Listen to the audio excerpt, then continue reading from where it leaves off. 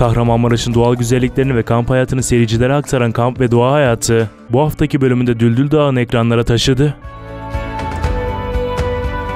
Burayı her dönem bu mevsimde ziyaret ediyoruz. Çünkü Dürdül'ün e, en güzel mevsimi bu dönem. Sonbahar mevsimi.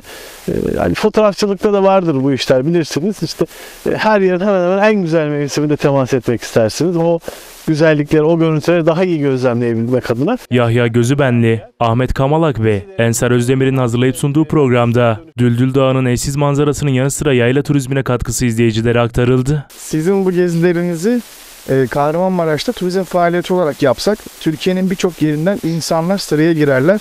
Sizin gezdiğiniz yerleri gö- görmek ve gezmek için çok keyif alıyorum ben size gezmekten. Çünkü Kahramanmaraş'ta e, Kahramanmaraş'ta olduğumuzu unutturuyorsunuz bizlere. Kahramanmaraş'ta böyle güzel yerlerin olduğunu gerçekten e, neredeyse sadece sizin sayenizde öğreniyoruz diyebiliriz.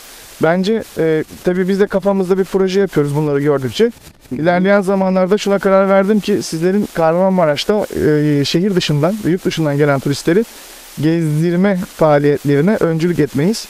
O yüzden bence bu da artık e, sizin için boynunuzun borcu diye görüyorum. Her şey için çok teşekkür ederim. Bugün mantarları öğrendik Ahmet Bey'den. Ve e, ne kadar lezzetli olduklarını bir kez daha görmüş oldum.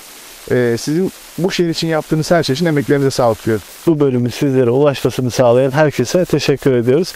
Yeni bölümde yeni bir Kahramanmaraş'ın doğal güzelliğini görüşmek dileğiyle. Şimdilik hoşçakalın efendim.